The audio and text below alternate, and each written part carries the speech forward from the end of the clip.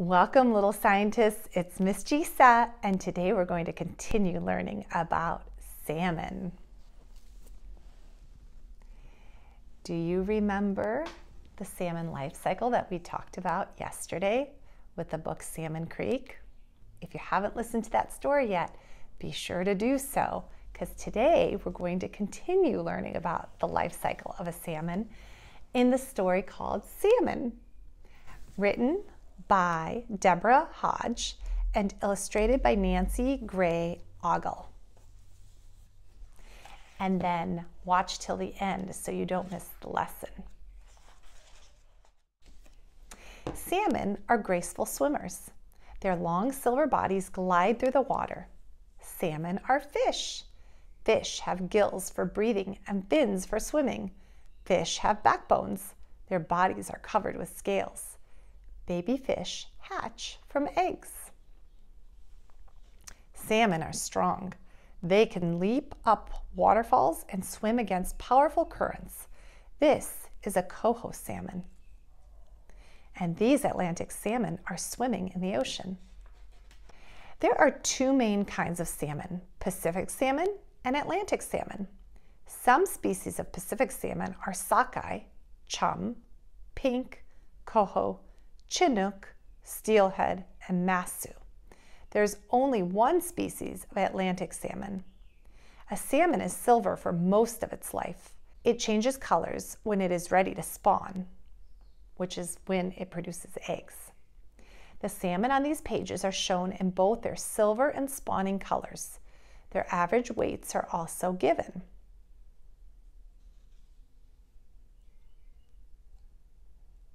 Which salmon looks the biggest to you? How about the smallest? Salmon are born in freshwater streams. When they are old enough, they swim to the salty ocean. Here they grow into adults.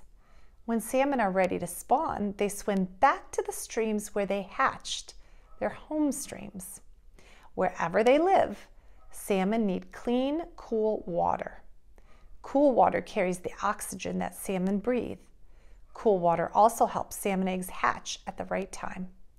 If the water is too warm, the eggs hatch early before there is food in the stream for the baby salmon.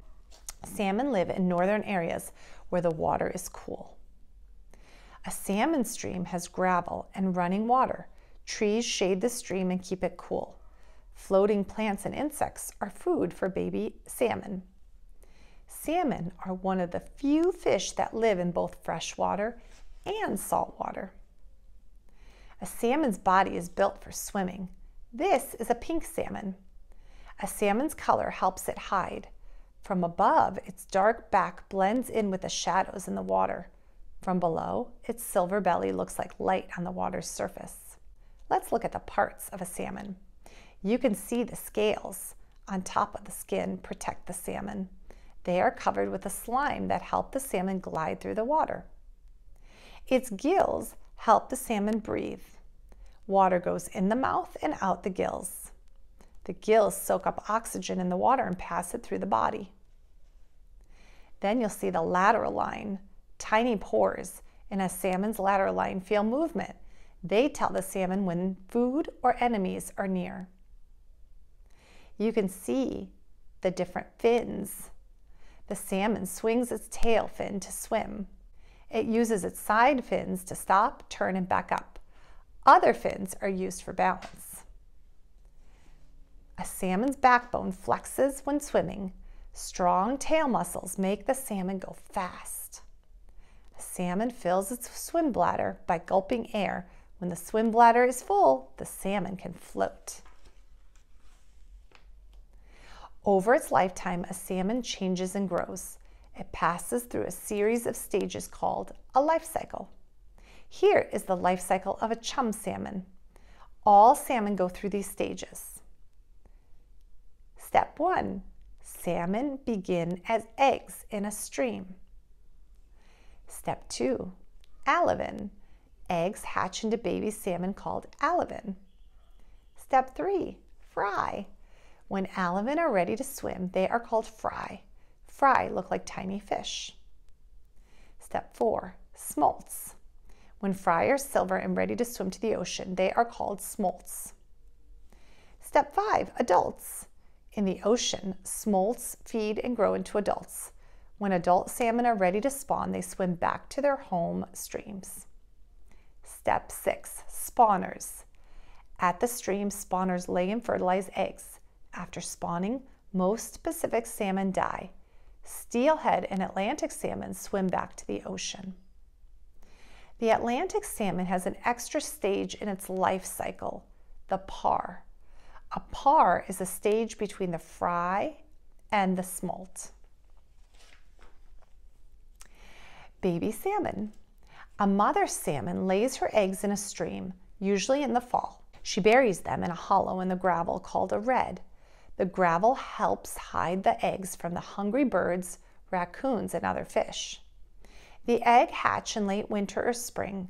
A baby salmon, or alevin, is about as long as a pin. A yolk sac hangs from its middle. It provides the alevin with food. An alevin stays in the gravel until its yolk sac is gone, up to three months.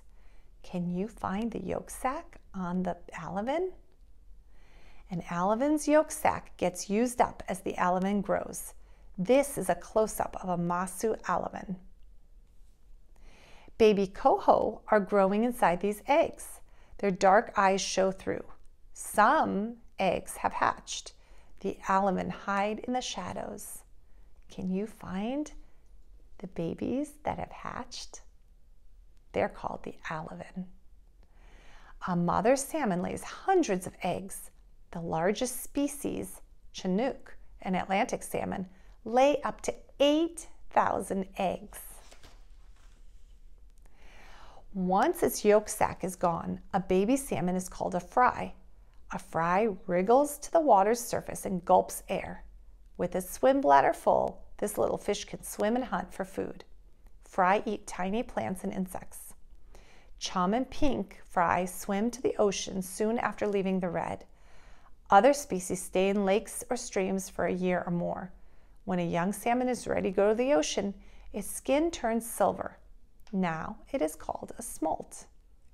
As smolts swim to the ocean, they pass through an estuary, where a river meets an ocean. Here they feed and get used to the ocean's salty water. These are sockeye smolts. Stripes on a fry's body are called parr marks. The marks help these Chinook fry hide. This is a close-up of a salmon scale. Scientists know how old a salmon is by counting the rings on a scale. This scale shows that the salmon is five years old salmon become adults in the ocean. Here, the food is plentiful and there is space for them to grow. Salmon stay in the ocean for one to eight years, depending on the kind or the species. In the ocean, salmon may swim thousands of miles. They eat shrimp, squid, and smaller fish such as herring. Salmon also feed on plankton, which are tiny floating plants and animals. Salmon travel in groups. This is safer than swimming alone. A seal is hunting these Atlantic salmon. Chinook and Atlantic salmon spend the most time feeding in the ocean. This is why they are the biggest species. This is a close-up of this tiny krill that some salmon eat. The krill's pink color makes a salmon's flesh turn red. Salmon leave the ocean when they are ready to spawn or produce eggs. They swim back to their home streams this is called migrating. A salmon uses its keen sense of smell to find its home stream. It follows the scent of the soil, plants, and insects in the stream. Migrating salmon swim up rivers. Hundreds travel in a group called a salmon run. The salmon battle the strong current. They leap over rocks and logs and up waterfalls. The journey is long and hard, but the salmon don't give up. Salmon such as these Chinook, may migrate as far as 2,000 miles to their home streams. Along the way, some are eaten by grizzly bears and other enemies. At the stream, it is time to spawn. The salmon's body has changed. Its skin may be red, green, purple, or black. The male has a hooked jaw and long teeth. Some males have a hump on their back. These changes help a salmon find a mate of its own species. The mother salmon fans her tail to scoop out a redd, which is a hollow in the stream's gravel. Within the redd, she digs several nests. She lays up to a thousand eggs in each. Then she covers them up with gravel. These sockeye salmon are spawning. As the mother lays the eggs, the father fertilizes them with white milt. Now the eggs can grow into baby salmon. Male salmon battle with their sharp teeth. The strongest male will spawn with the female of his choice. These are chum salmon. This Atlantic salmon is digging a nest.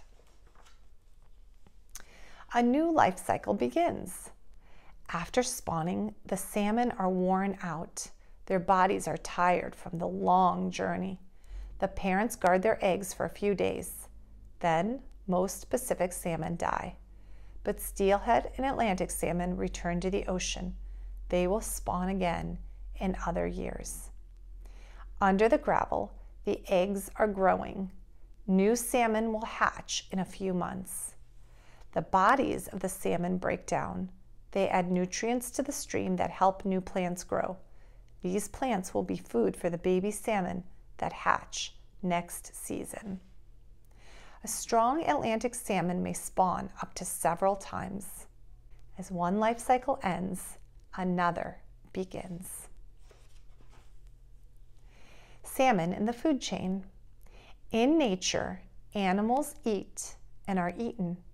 One creature is food for another. This is called a food chain. Salmon are part of the food chain.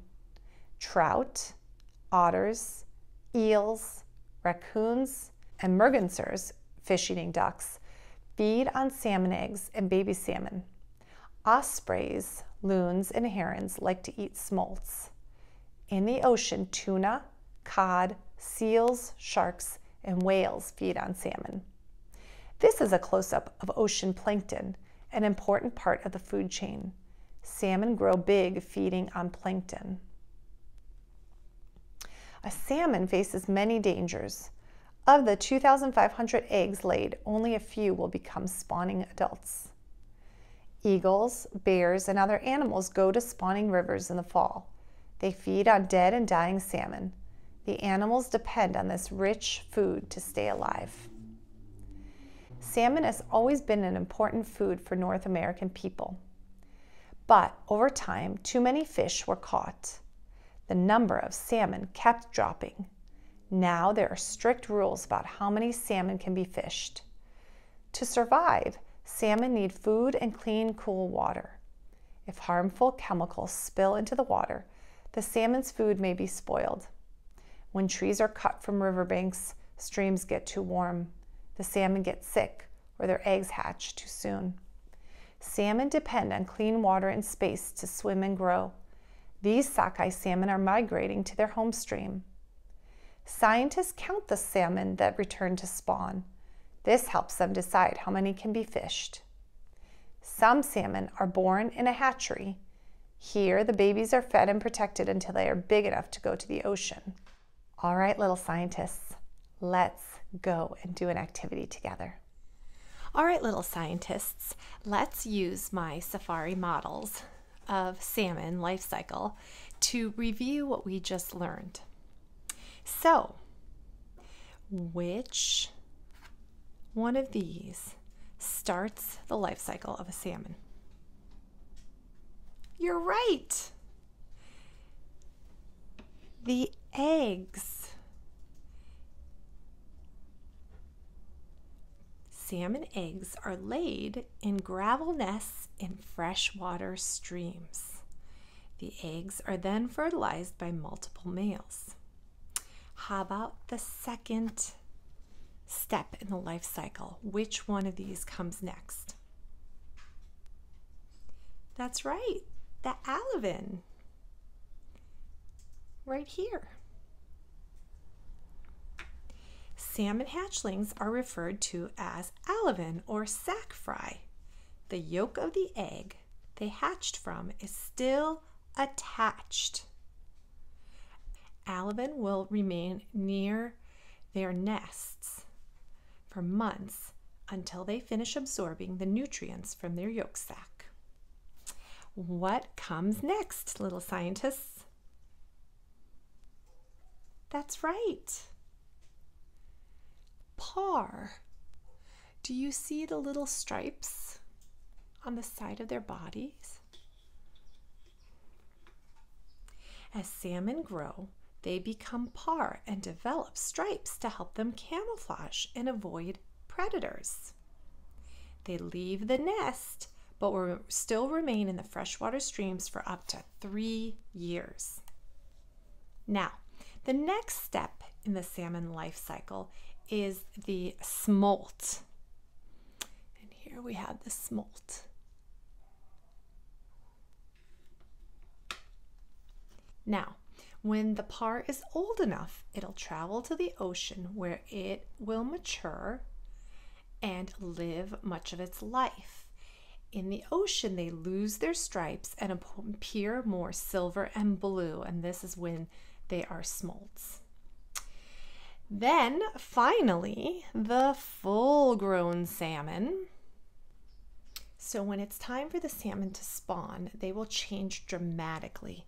Many species will change from the silvery color that you see as a smolt to a deep red. They also develop a little bit of a hump and sharp teeth. Male salmon jaws grow long and hooked, which is known as a kype. Then they begin the long and difficult journey back to the stream in which they were born. They always go back to where they were born. They may travel as far as 900 miles in order to find their spawning grounds. After the females lay their eggs, remember back where they were born, and the males fertilize them, most salmon soon die. The journey is a long one that really tires and exhausts them, so they end up dying after that. Thank you for joining me today for our lesson on the salmon life cycle. I hope you learned a lot. And please, if you enjoyed this video, don't forget to hit the like button and subscribe so you never miss another lesson. Thank you for joining me today. Remember to like and subscribe to support our channel.